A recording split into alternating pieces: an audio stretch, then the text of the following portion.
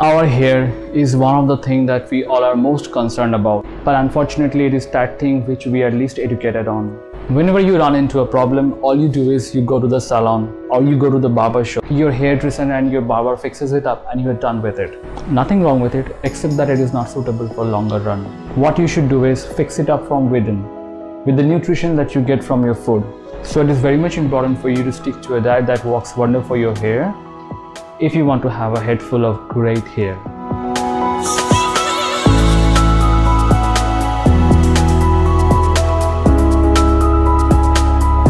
Today we'll deal about 6 foods that are essential for your hair health and they are not only cheap but they are easily available.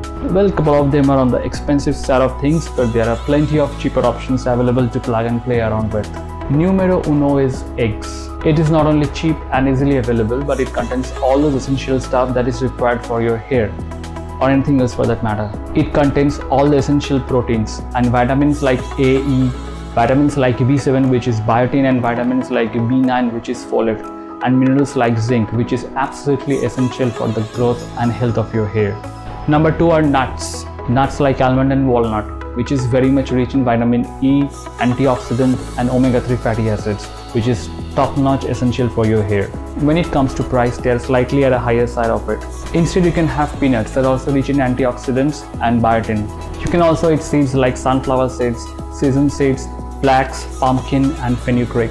They also serve the same purpose as the nuts do.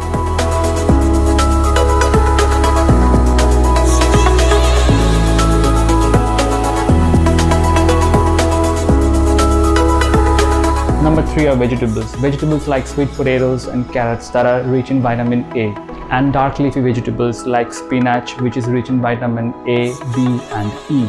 So eat plenty of them. Number 4 whole grains. Stuff like whole wheat and brown rice. Brown rice can be a little bit expensive as compared to the refined white rice but if you can afford it you can have it couple of times in a week. Whenever you buy flour make sure it comes from whole wheat. If possible check for the label in the packet. Number 5 is citrus fruits, for example lemon which is rich in vitamin C. Vitamin C also acts as antioxidant and it reduces oxidative stress on your hair.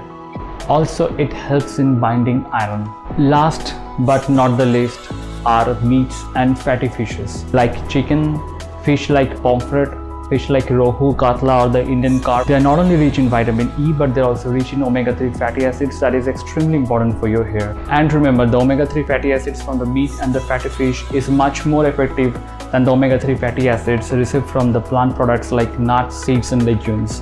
So let's discuss about the function of the nutrients and the vitamins that we talked about for the last couple of minutes. Mineral like zinc repairs your hair and promotes hair growth. Iron helps your red blood cells to carry more oxygen to your hair. Vitamin A helps your hair cell to grow and it also stimulates sebum gland to produce more sebum so that your scalp may remain moisturized.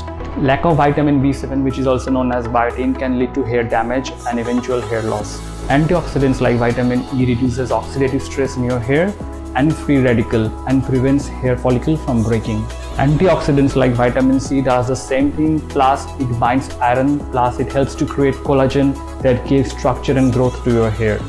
So which one of these were you implementing or are you planning to implement? Let me know down in the comment section.